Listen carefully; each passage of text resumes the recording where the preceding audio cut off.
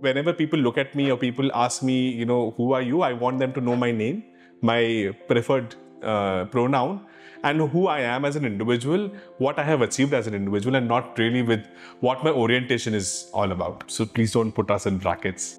Hi, myself Amrit Rajpora, and I'm from Assam. And yes, there is a gender confusion with many people. Uh, I want people to see me as a normal human like them, you know. I'm doing so much for the society.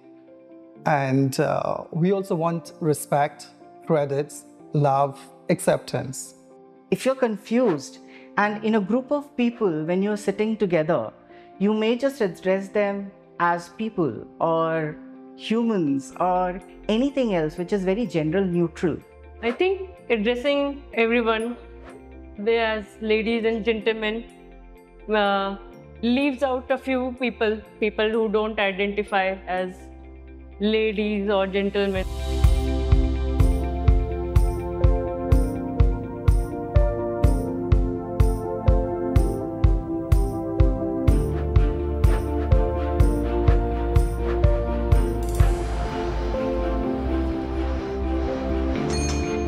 Good morning, all you wonderful people. All passengers are requested to proceed towards gate number 49 for flight from Delhi to Leh. Good morning, all you wonderful people. It's a delight to onboard SpiceJet Flight SG8903. Good morning to each and everyone. Welcome on board SpiceJet flight SG2937 from Delhi to Dharamshala. We are pleased to announce that we are ready to close doors for departure to Dharamshala. Pride Month and welcome on board.